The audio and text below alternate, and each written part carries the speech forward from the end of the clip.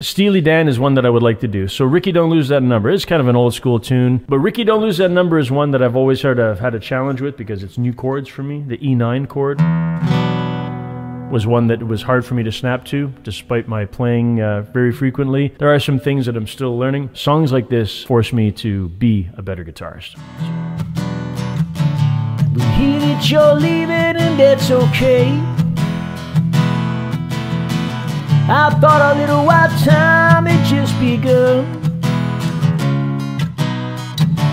I guess you kinda scared yourself, you just turn and run.